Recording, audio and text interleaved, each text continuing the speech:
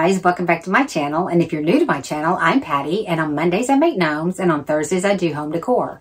Thank you so much for being here today. I really appreciate it. Today I wanted to share with you how to make these super easy paper pumpkins. These are really strong. You can use them in a lot of home decor projects, a lot of craft projects. If you want to know how to make them, stick around. I'll show you how. Okay, for each of these pumpkins, you're going to need two pieces of 8.5 by 11 cardstock and a 2.5 inch punch.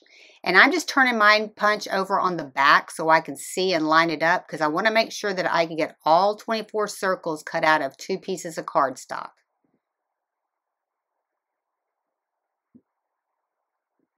It just kind of helps you guide it a little bit better because you can kind of see where you're punching. And then just go ahead and trim off right at the bottom of the circle of the one you just cut and you can get your other four cut out of there.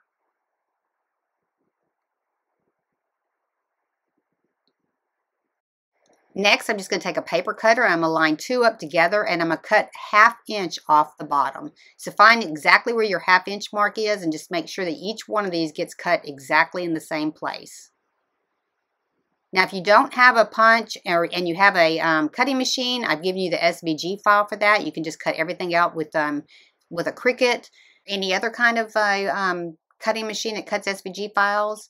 And if you don't have either, I've also included the PDF. You can cut these out by hand. It's really not that hard.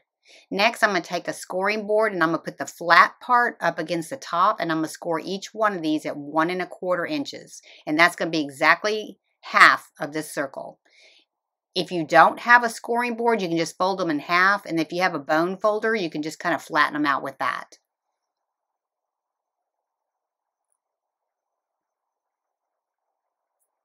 Just make sure you get each one of them scored. And then when we get finished scoring them, there's going to be the indent on the score. It's is easy to fold backwards. So fold the indent part backwards.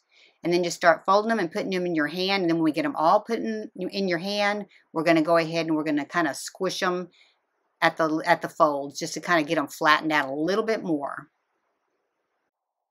Okay, you can go ahead and just squeeze them down there at the bottom where the fold is Just put some pressure on those just to kind of get them flattened out a little bit more.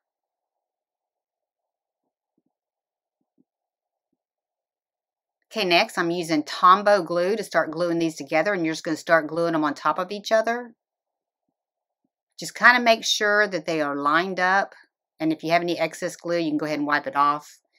But just kind of check them every once in a while, make sure they're lined up, but you can cut you can go through this pretty quickly.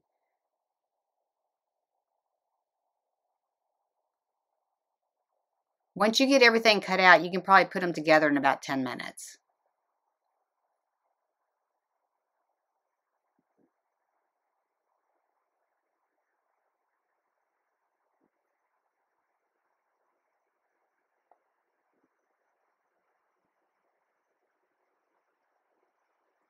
Just keep checking them every once in a while while you're doing it just to make sure that they are still lined up good.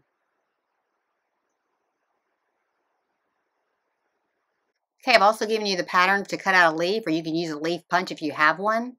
But we're going to take a piece of Kraft paper, and we're just going to cut a little square out of it, and then we're going to punch a hole with a, a hole punch in the middle, just a regular size hole punch. And then go ahead and cut a circle around it, probably about half inch from the circle, and just kind of do it wavy. Don't do it just perfect. And this is going to go on top of our pumpkin. And then you're going to take this piece of paper and you're going to kind of wad it up because you want it more wrinkled and then open it back up. And then next we're going to take our pumpkin, we're going to go ahead and close it up. So we're going to glue the two opposite sides together and glue as close to the edge as you can on both of those. And then when you squeeze it together, just squeeze it and make sure you get all the way down to the center and squeeze it in there. You want to make sure that this gets sealed up good. Okay, next I'm just taking a little stick and I'm going to put it right in the center. And I got these at Amazon. They're just some little four inch um, sticks that are about a quarter of an inch. And I'm going to cut it at an angle with my miter cutter. So it's about a half inch from the top. Then go ahead and just put hot glue all the way inside of there. Put that stick back in and then squeeze that pumpkin together to make sure, sure that, that all the sides connect to that stick.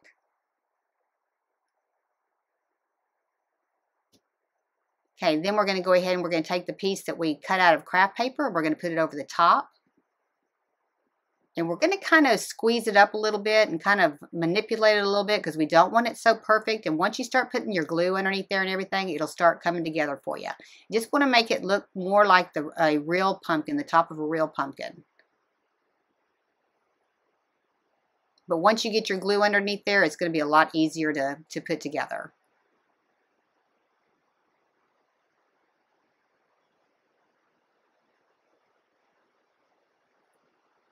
Just kind of flatten it on there and squeeze it up at the same time. Just kind of want it to make, make it look um, kind of wrinkly looking.